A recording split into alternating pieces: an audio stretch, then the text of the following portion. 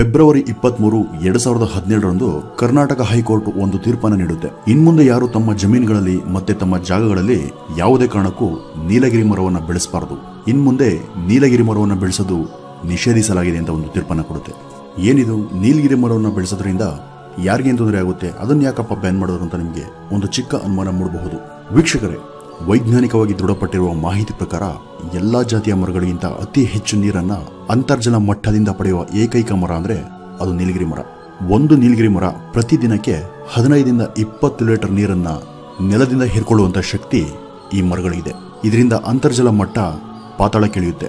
ಮತ್ತೆ ನೀಲಗಿರಿ ಮರಗಳು ಇರುವ ಸ್ಥಳಗಳಲ್ಲಿ ಹೆಚ್ಚು ತೇವಾಂಶ ಕೂಡ ಇರೋದಿಲ್ಲ. ಜೊತೆಗಿಲ್ಲಿ ಯಾವುದೇ ಬೇರೆ ಮರ ಗಿಡಗಳು ಬೆಳೆಯೋದಿಲ್ಲ.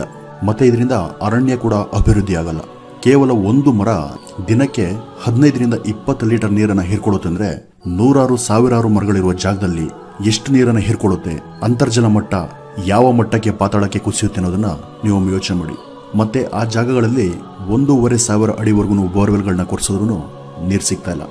ನೀಲಗಿರಿ ತೋಪನ್ನ ಬೆಳೆಸೋದು ಪರಿಸರಕ್ಕೆ ಮಾರಕ. ಇಂತಹ ತೋಪುಗಳ ಅಕ್ಕಪಕ್ಕದಲ್ಲಿ ನೀರಿನಾಂಶ ನಾಶವಾಗಿ ಇತರೆ ಸಸ್ಯಗಳು ಬೆಳೆಯದ ಸ್ಥಿತಿ ನಿರ್ಮಾಣವಾಗುತ್ತೆ. ಮತ್ತೆ ಇಂತಹ ಮರಗಳಿಂದ ಪ್ರಾಣಿ ಪಕ್ಷಿಗಳಿಗೆ ಆಹಾರ ಇಲ್ಲದಂತಾಗುತ್ತೆ. ಹಾಗಾಗಿ ಯಾವ ಯಾವ ರೈತರುಗಳು ತಮ್ಮ ಜಾಗಗಳಲ್ಲಿ ಮತ್ತೆ ಜಮೀನುಗಳಲ್ಲಿ ನೀಲಗಿರಿ ಮರವನ್ನು ಬೆಳೆಸ್ತಾ ಇದ್ದಾರೋ ಅಂತಹ ಜಾಗಗಳನ್ನ ಸರ್ಕಾರ ವಶಪಡಿಸಿಕೊಳ್ಳಾಗುತ್ತೆ ಮತ್ತೆ ಅವರಿಗೆ ಬ್ಯಾಂಕ್ಗಳಲ್ಲಿ ಯಾವುದೇ ಕಾರಣಕ್ಕೂ ಲೋನ್ ಸಿಗೋದಿಲ್ಲ ಅಂತ ಪ್ರತಿ ಜಿಲ್ಲೆಗಳಲ್ಲೂ ರೈತರಿಗೆ ಹೇಳಲಾಗ್ತಾ ಇದೆ. ಆದ್ರೆ ವಿಪರ್ಯಾಸ ಏನು ಅಂದರೆ ಇವತ್ತು ಎಷ್ಟೋ ಸರ್ಕಾರಿ ಜಾಗಗಳಲ್ಲಿ ಮತ್ತೆ ಗೋಮಾಳಗಳಲ್ಲಿ ಎಕರೆಗಟ್ಟಲೆ ನೀಲಗಿರಿ ತೋಪಗಳು ಬೆಳ್ಕೊಂಡು ನಿಂತಿದೆ. ಈ ಮರಗಳನ್ನ ಬೆಳೆಯೋದಕ್ಕೆ ಬಿಡಬಿಡಿ ಅಂತ ಕೋರ್ಟ್ ಆದೇಶ ಇದ್ರೂ ಕೂಡ ಆ ಜಾಗಗಳ ಲಿಮಿಟ್ಗೆ ಒಳಪಡುವ ಅಧಿಕಾರಿಗಳು ಆ ಒಂದು ತೀರ್ಪನ್ನ ಕಿವಿಗೆ ಹಾಕೊಂಡಿಲ್ಲ. ಮತ್ತೆ ಈ ಮರಗಳಿಗೆ ಯಾವುದೇ ಮಳೆ ಬೇಕಾಗಿಲ್ಲ, ನೀರ್ ಬೇಕಾಗಿಲ್ಲ. ಆ ನೆಲದಲ್ಲಿರುವ ಸುತ್ತಮುತ್ತಲ ನೀರನ್ನ ಹೀರ್ಕೊಂಡು ಬೆಳೆಯುವಂತಹ ಶಕ್ತಿ ಈ ಮರಕ್ಕಿದೆ. ಮತ್ತೆ ಈ ಮರಗಳನ್ನ ಕತ್ತರಿಸಿ ಬಿಸಾಕಿದ್ರು ಮತ್ತೆ ಬಹುಬೇಗ ಬೆಳೆಯುವಂತಹ ಗುಣ ಈ ಮರಗಳಿಗಿದೆ. ಹಾಗಾಗಿ ಈ ಮರವನ್ನ ಬೆಳೆಯೋದು ಪರಿಸರಕ್ಕೆ ಮಾರಕ ಮತ್ತೆ ಅಂತರ್ಜಲ ಮಟ್ಟ ಪಾತಾಳಕ್ಕೆ ಕುಸಿಯುತ್ತೆ.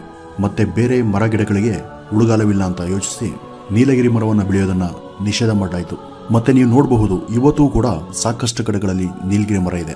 ನೀಲಗಿರಿ ಮರವನ್ನ ಸಂಪೂರ್ಣವಾಗಿ ನಿಷೇಧ ಮಾಡಬೇಕು ಅಂದ್ರೆ ಅದನ್ನ ಬುಡ ಸಮೇತ ಕಿತ್ತು ಬಿಸಾಕ್ಬೇಕಾಗುತ್ತೆ. ಬರೀ ಮರವನ್ನಷ್ಟೇ ಕಟ್ ಮಾಡಿದ್ರೆ ಸಾಲದು. ಅದು ತುಂಬಾ ಬೇಗ ಬೆಳೆಯುವಂತಹ ಗುಣವನ್ನು ಹೊಂದಿರೋದ್ರಿಂದ ಇನ್ನು ಬಹುತೇಕ ಜಿಲ್ಲೆಗಳಲ್ಲಿ ಸಾವಿರಾರು ಎಕರೆ ನೀಲಗಿರಿ ಮರ ಇವತ್ತಿಗೂ ಇದೆ.